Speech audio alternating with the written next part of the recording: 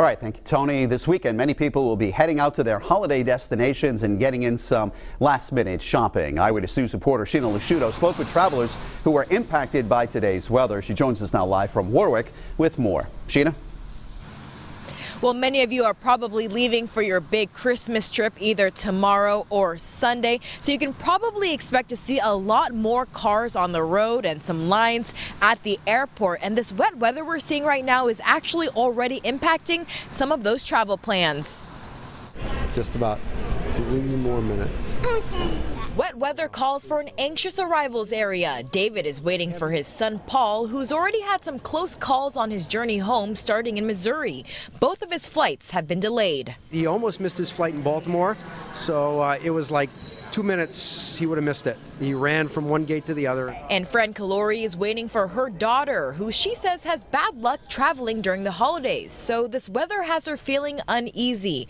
Both families are waiting on a flight coming in from Baltimore. It's scheduled to arrive an hour late. Oh, very nerve wracking. Yes, yes. And of course, being a very busy day traveling.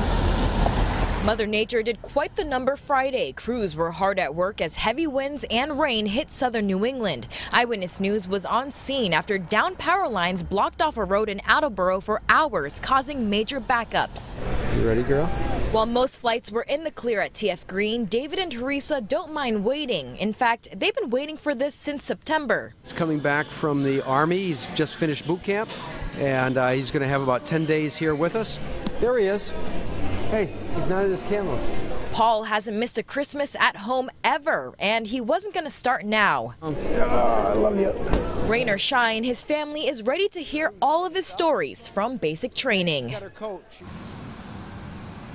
Now, AAA says more people are driving this year to their holiday destination, so you want to make sure to leave plenty of room out on the roads and leave early and give yourself lots of time so you can get there safe. Reporting live in Warwick, I'm Shiina LoSciuto, Eyewitness News.